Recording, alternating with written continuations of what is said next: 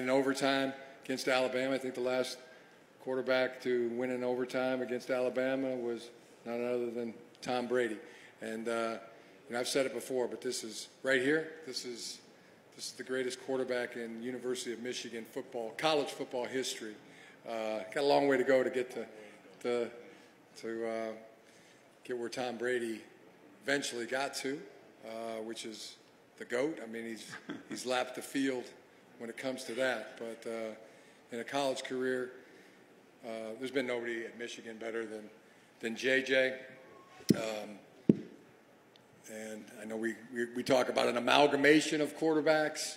Uh, he is he is he is that guy.